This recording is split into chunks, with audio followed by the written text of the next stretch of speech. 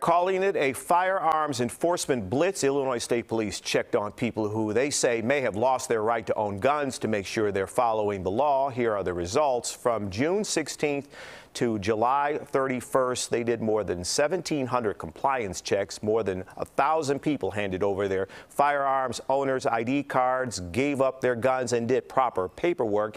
Here are some of the weapons officers confiscated during the operation. Compliance checks are not confiscating guns, but about ensuring individuals who have lost their firearm rights transfer their firearms to law enforcement or someone who is legally able to possess them.